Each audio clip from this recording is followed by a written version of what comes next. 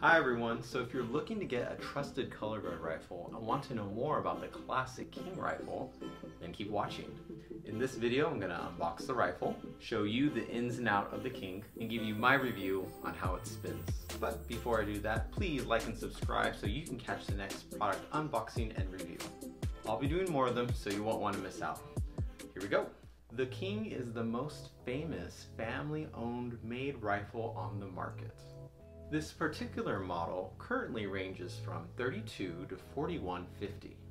They're all wooden rifles, are made the same way, and use the same exact poplar wood. They come in 36, 37, and 39 inches in length. There is an option for gold, silver, or black bolts. Also, you can get a black, white, or even a tan leather strap. All right, here's the new King rifle. It just came into the mail. Thank you so much, Designs by King for providing this rifle for the review. I'm gonna start opening this up and see what we have.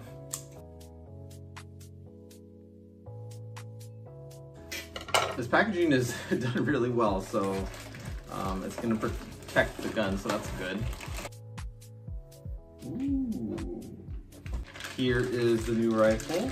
They gave you a little um, instructions on how to tape your rifle. So this is pretty useful. If you know how to tape a rifle, they provide these directions for you and they're basically saying like, um, you know, tape them at the highest impact points um, for reinforcements. Um, so this is very useful. Give this a read, make sure you tape it up nicely. I gotta unscrew everything so I can tape the rifle up. Um, I'll do that right now and then I'll give you a little look, see at each component of the rifle itself.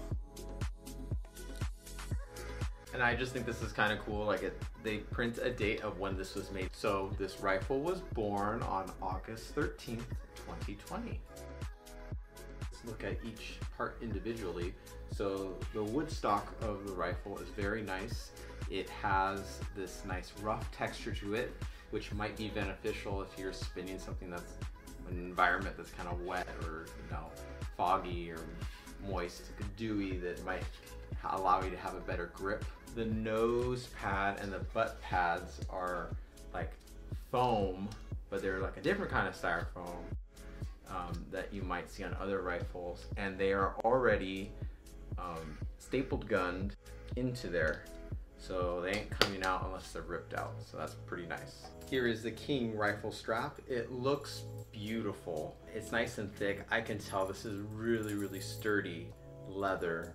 So it's not gonna break anytime soon.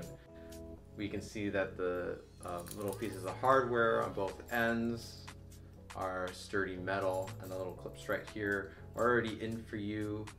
You might wanna adjust them to whatever length or tightness you want on the gun of the, of the rifle. The screws they came with are pretty standard. And then we have the rifle bolt, which is exclusive to King. And the plastic is pretty nice and thick. All right, now it's time to tape this all together.